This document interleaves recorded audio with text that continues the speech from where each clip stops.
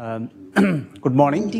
Uh, I'm going to, as against the, the chair said, I'm going to present on both the school education system as well as the higher education system. Uh, at the outset, I would like to apologize on behalf of my president, who was supposed to be here, but because of his prior engagement, he could not make to uh, this meeting. So I would be presenting on behalf of him as well, right? Uh, all right. At the outset, I would like to mention that the modern education, the history of modern education system in the country is very new. Uh, so that's why in education in Bhutan was mainly monastic uh, until 1950s. Of course, uh, if you look at the first modern school was opened in 1914 in Ha, uh, and then there were 46 uh, students enrolled. And then the, the, the, subjects that were learned was Hindi, English, arithmetic, and, Zong, and Dzongkha. Dzongkha is the national language of the country. Um, after that, now, if you look at the education system, we have uh, broadly three elements of the education system, the general education, monastic education, and the, uh, and the non-formal education. You know? Now, if you look at the non-formal education is a little different uh, from the other areas, like it's focused on the, the, the, the children as well as the adults who had not been able to uh, get opportunities to study. Now, general, now, if you look at general education is by far the biggest and is now common seen as the, the formal education structure. Okay? And then the current formal education system has expanded since the first five-year plans. I think the development of the modern education system in its uh, full-blown stage started after 1961. That was when the first five-year plan started in the country with, of course, assistance from Indian government. Okay? And then uh, prior to 11 schools in 1961, now we have about 880 schools and other ed educational institutions in the country. This is based on the ed annual education statistics of the Ministry of Education. Uh, uh, briefly, to look at uh, the uh, structure of the education system, if you look at school education system, school-based education in Bhutan comprises of 11 years of um, free basic education. If you look at education is totally free in the country. And then uh, free basic education from classes PP till 10. That's a basic education. And then it's uh, primary education is for seven years, that is PP to class six. Then you have, which uh, starts at the age of six. Of course, now there is some leeway about uh, five to six months. Uh, and then seven, um, uh, for seven years, while secondary education, that is class 7 to 10, is for four years.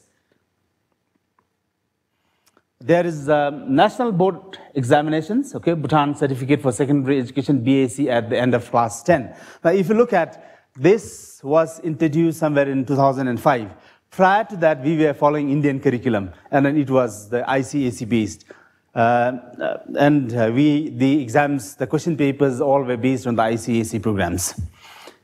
After class 10, students either continue their education in higher secondary schools, enroll in the technical training institutes, uh, or they enter the labor market. Uh, then students who do not qualify for public higher secondary schools, they have the option to continue their studies in private higher secondary schools or enroll in the vocational courses that is offered by public and private training institutes. And then there are 10 uh, uh, technical and vocational education training institutes in the country as of 2017.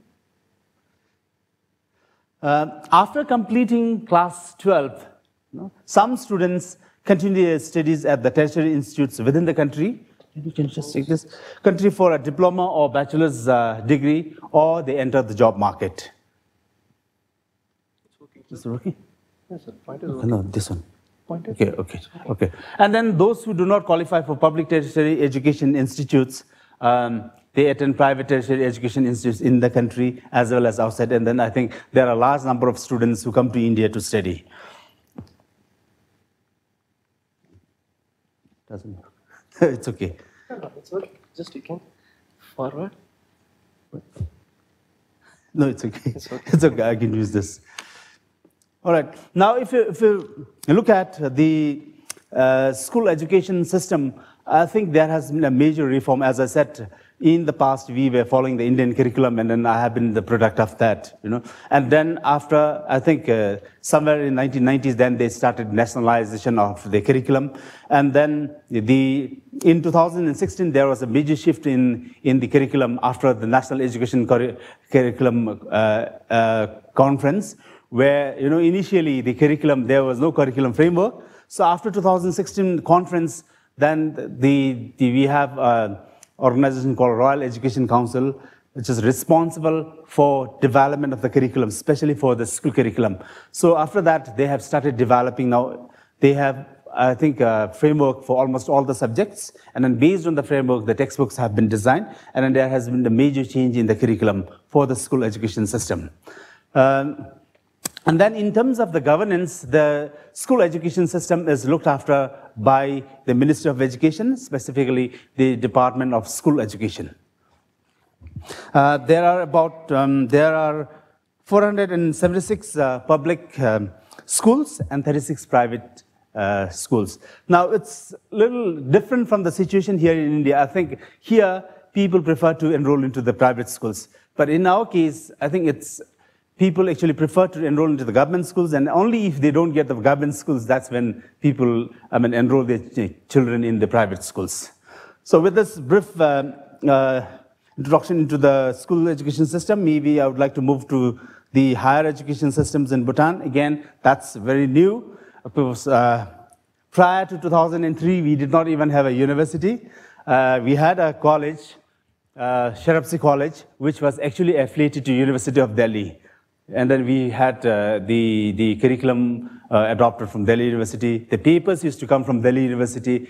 The answer scripts were, I mean, used to come to Delhi. The corrections were done in Delhi. And then, you know, that way, it used to take about three to four months to get the results. Can, uh, so after it started there, but then prior to that, there were other institutes which was not really a higher education institute. For instance, the college where I'm working just now was established in 1968 uh, this was uh, inaugurated by His Majesty the third king on 29th May 1968, but this was introduced as TTI, Teacher Training Institutes. And then the basic aim of introducing this um, uh, institute was to train teachers who could teach in the primary schools. Because the, those days we did not have uh, national teachers, and then we had all the experts mostly from India, West Bengal, and then mostly from Kerala. Uh, as of now, as I said, the first university, that is the Royal University of Bhutan, was established on 2nd June 2003 uh, based on the charter issued by His Majesty the Fourth King. And then the Royal University of Bhutan has 10 constituent colleges and two affiliated colleges. Um, this university um, has a, I mean, the colleges are spread across all the, across the country, it's kind of federated colleges. It's not within the campus. And then the university became, it was under the ministry prior to 19, uh, sorry, 2011. In 2011, the university became autonomous. Then the second university, that is Khesar Gyalpo University of Medical Sciences of Bhutan, was established in 2015. And then they are responsible for this nursing and medical uh, studies. They have three faculty under uh, three faculty, the faculty of postgraduate uh, medicine, faculty of public health and nursing, and then faculty of traditional medicine. Now, governance, um, uh, governance, the tertiary education system is governed by the Tertiary Education Policy 2010, TEP, uh, which was mandated um, which has mandated establishment of the Tertiary Education Board, that is TEB, and the Bhutan Accreditation Council, BAC. Uh, TEB and BAC are empowered bodies uh, that take all major decisions pertaining to planning, establishment, funding, quality assurance, registration, and licensing. They also provide oversight, direction, oversight and direction to the tertiary education institutes. And then besides these two uh, universities ten, um, two universities, there are other autonomous uh, tertiary education institutes like Royal Institute of Management, um, uh, Jigme Singye Wangchuck National School of Law, which are autonomous. Uh, maybe I think uh, as I come from the Royal University of Bhutan, and then the Royal University of Bhutan is mainly responsible for providing higher education. I think it's important for me to highlight on the vision and the mission. Uh, the vision of Royal University of Bhutan is an internationally recognized university stepped in the GNH values. I think uh, many of you know GNH, gross national happiness. That's the development philosophy, you know, which is four pillars. And then the mission is to provide programs of study at tertiary education level of relevance and good quality, which will fulfill the needs of the country for an educated, skilled, and human population, and to promote and conduct research to contribute to creation of knowledge of relevance to Bhutan, and to provide training and professional services for enhancement of knowledge, capacity building, and community development. Uh, when you look at the structure, as of uh, 2018, there were 11,259 students pursuing various courses in tertiary education institutions within Bhutan. As I said, the, there are about there are two colleges that provides engineering and technical education. There are two colleges of education, and then uh, other others are responsible. I mean, others provide this arts and humanities programs, and then there are uh, there are two private, in, private colleges that are affiliated to university. They provide business as well as arts and humanities programs. Uh, female enrollment is slightly lower than the males, making up 46% of the total enrollment at the tertiary level in Bhutan. But I think this, the scenario is changing. For instance, mm, in the college where I work, if you look at uh, the, the number of uh, female students enrolled in the male, you know, it's now dominated by female. For instance, our class size is generally 35 to 40. So in that, usually you have about 10 to 15 boys and then more than 20 girls enrolled in. So I think the situation is changing. Um, many, I mean, besides this, many students go outside the country to pursue higher education uh, on various scholarships and self-funding. And then as I was mentioning in the beginning, large number of students study in India. Um, when you look at the, the gross enrollment ratio in the country, it is 31.9% uh, for male and then 27.1% for female. But if you look at the gross enrollment ratio, including those people who are outside, then it's 41.6%. Um, maybe the admission into higher education system, as I said, as of uh, 2018, there were 887 students pursuing various undergraduate programs in different countries.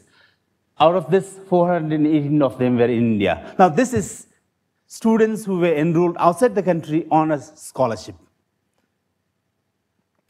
And then a significant number of students also study abroad through private funding. That's basically because the, the, the institutions, tertiary institutions in, in, the country are not able to accommodate all the students you know, that uh, graduate uh, from class 12. Um, there are 4,628 uh, students pursuing various degrees, degree courses through private funding outside Bhutan as of 2018. Now, admission into the constituent colleges of RUB and KGUMBS, that is the Khesar Gyalpo University of Medical Sciences, is based on merit ranking. Um, we don't have the entrance exam like uh, you have in other countries. Uh, it's based on the merit ranking. And then this merit ranking is based on the ability rating of each of the programs. There is ability rating. Based on the ability rating, we merit them, and then that's how the students. And then the admission into the constituent colleges of RUB is based on the ratio of 70% government funding and 30% self-funding. Uh, learning and teaching approaches, I think uh, it's not lecture-centered. Of course, lecture is one of uh, the teaching and learning approaches. There are, we have the school teaching and tutorials. Uh, independent study is an important component. Okay? And then we also have the practical works. Place-based education has become very important, and we strictly follow that. We also have project-based learning. Uh, field work is uh, an important component, and then ICT supported learning. We make use of the virtual learning environment, and then the platform uses Moodle. I'm That's sorry, I'm, I'm going to have to I'll ask you to one, one minute. Okay. Uh, recent developments, as per the tertiary education policy of the Kingdom of Bhutan, the Bhutan Accreditation Council was constituted on 14 June 2011, and then the council accredited all constituent colleges of REB and few other institutions as of 2018. And then the use of technology in teaching and learning is uh, becoming prominent now. Uh, issues and challenges, maybe I think it's expanding tertiary education enrollment. That's why you see large number of students outside the country who are enrolled. And then promoting high quality research. You know, that's important because, uh, I, sorry, I forgot to mention, we have only programs at the undergraduate, I mean, undergraduate, and then we have few master's programs. Uh, we don't have a PhD program within the country. So therefore, people have to go outside to, for, to pursue PhD. And then the balance between quality assurance, innovation, and flexibility is one of the issues.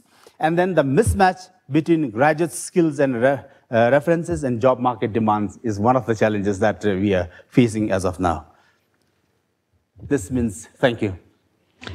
Thank, thank you very much.